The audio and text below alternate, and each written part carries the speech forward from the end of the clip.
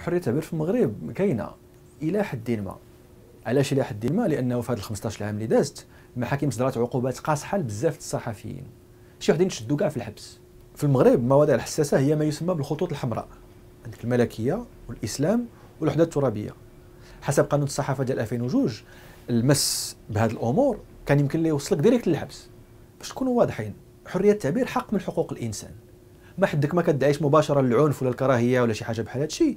عندك الحق تقول اللي عجبك في أي موضوع. يكون حمر ولا خضر ولا أي لون. والدستور ديال 2011 كيضمن حرية التعبير للجميع.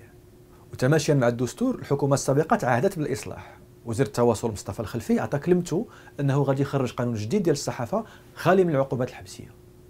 ودارها.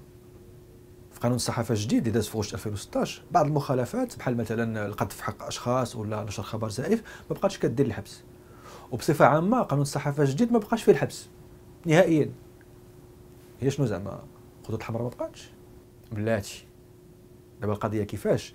شي وحدين من هذوك الفصول ديال 2002 اللي كانوا كيديو الحبس ترحلوا يعني تهزوا من قانون الصحافة تدار فيهم بعض التعديلات وتحطوا في القانون الجنائي والقانون الجنائي أصلا كانت فيه فصول أخرى كتعاقب بالحبس. مثلا في حالة إهانة مؤسسات ولا إهانة موظفين ديال الدولة.